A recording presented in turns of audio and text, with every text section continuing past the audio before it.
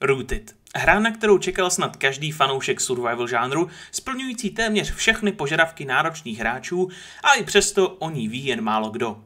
Zastíněná podvodným přístupem jiných vývojářů a jejich AAA her, které nikdy nevyšly.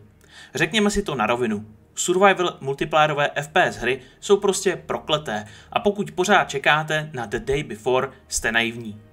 Hráčů je v tomto žánru pořád zainvestováno hodně. Problém je, že jediné funkční hry jsou aktuálně Scam a DayZ. To by se však v roce 2024 mohlo změnit s příchodem neznámého titulu Rooted. Ten jakoby snad byl ukryt pod závojem a teprve teď po letech vývoje začal vystrkovat růžky. Jak to, že jsme ale o něm neslyšeli?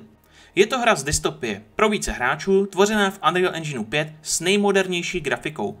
Nabízí i solo kampaň, řadu revolučních myšlenek a spoustu dalších věcí. Na první pohled navíc vypadá jako kombinace toho nejlepšího, co kdy vzniklo. Pohyb a soubojový systém Divisionu 2, Visual Daisy, atmosféra z Kamu, soundtrack z The Last of Us a crafting podobný Forestu malé privátní servery anebo obrovské kolosy, kde si hráči staví základny v lesích až po velké společnosti a sbírají zbytky civilizace zničené biologickou válkou. Co víc, hráči se podobně jako v Divisionu pokouší zabírat různé body zájmu na mapě, vyráží na expedice do kempů nepřátel a plní objektivy. To vše ovlivňuje svět, který je dynamický a nepřátelské frakce NPCček zabírají či opouští jednotlivé outposty a svět tak působí opravdu dynamicky a nepřestane nikdy nudit. Hlavním nepřítelem, stejně jako v Daisy, ale nejsou NPCčka, zvířata či roboti, ke kterým se ještě dostaneme, ale především jiní hráči. Frakce totiž hráči tvoří právě i s nimi, no a ti, kteří do nich nepatří, půjdou nemilosrdně po všem, co máte u sebe. Svět je konec konců v troskách a pravidla neexistují. To vše je doplněné o proximity voice chat, který přidává na atmosféře hry a neopatrný hráč může snadno prozradit svoji pozici. Na své si pak přijdou i stavitelé základen, jimž hra umožní stavit rozsáhlé základny po celém světě, či takzvaní lootreti, kteří rádi hordují každé smetí, co najdou v postapokalyptickém světě. Hra má být neúprosná, no a tak každý náboj budete údajně vážit v ruce i třikrát. Proč je tedy Rooted tak neproskoumanou hrou a nikdo o ní vlastně pořádně neslyšel? Zde už se uchylím čistě ke spekulacím. Dle mého výzkumu by mohlo jít hlavně o celkovou atmosféru kolem vývoje survival FPS jak jsem již zmiňoval.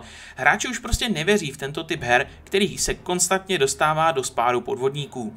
Takovýchto pokusů tady bylo opravdu hodně. Konec konců, na svém YouTube kanálu jsem takhle covernu už asi tři podobné hry. Druhým faktorem pak může být samotný vývojář. Headlight Studio je poměrně novým studiem a dle mého výzkumu jsem nenašel oficiální stránky vývojářů, pouze samotné hry. No a nenašel jsem ani předchozí tituly studia, které by za to stálo zmiňovat. To působí trošku shady, ale může to být prostě jenom tím, že vývojáři jsou prostě noví.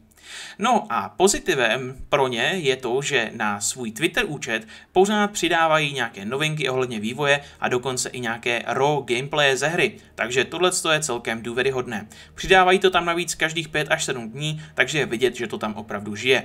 Co víc, mají i aktivní Discord, který údajně funguje dost dobře a nabírají tam i hráče na testování nějakých pre-release verzí, takže rozhodně se tam můžete přidat a třeba vás vyberou.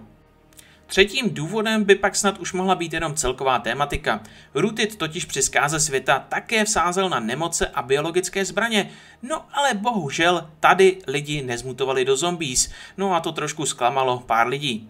Lidi prostě umřeli a tak hlavním alfa predátorem se ve hře stávají roboti a drony, kteří likvidují ti, kteří to přežili, no a nebo ti, kteří nejsou dostatečně opatrní. Takovýchto pokusů o náhradu zombie za roboty tu už pár bylo no a bohužel to nikdy úplně neskončilo dobře. Lidi mají prostě rádi likvidování nemrtvých, no a odrážení kulek od tvrzené ocele nějakého robota prostě nemá ten správný zvuk a efekt, ale to může být jenom moje subjektivní nějaký pocit. Tímto bych rád svůj monolog zakončil. Hra vyjde na jaře roku 2024, ale už letos se můžete zaregistrovat jako tester alfa verze. Hru si také můžete vyšlistnout na Steamu, no a nám nezbývá nic jiného, než věřit, že tentokrát to skutečně vyjde. Co si o tom myslíte vy? Dejte mi vědět do komentářů a pokud se vám videjko líbilo, můžete určitě zanechat na tomhle kanálu odběr, protože tady vychází každý den v 15.00 různé zajímavé videjka o takovýchto survival hrách nebo o MMORPGs a další různé tutoriály a podobně. Děkuju, mějte se skvěle a uvidíme se zítra v 15.00.